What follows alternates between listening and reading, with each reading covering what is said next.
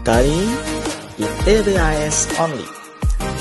Do you want to go to college but are afraid that it will be expensive?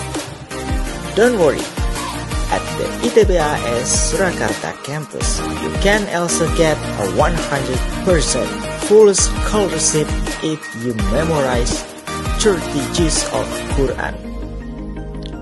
For those who haven't memorized 30 juz, don't be discouraged because for those who haven't memorized strategies, the scholarship percentage is determined from the number of juz that you memorize.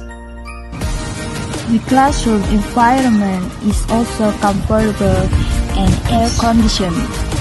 And ITBAAS Indonesia has recently opened a new campus building, Campus 2, which is exclusively for those of you who have registered for this academic year.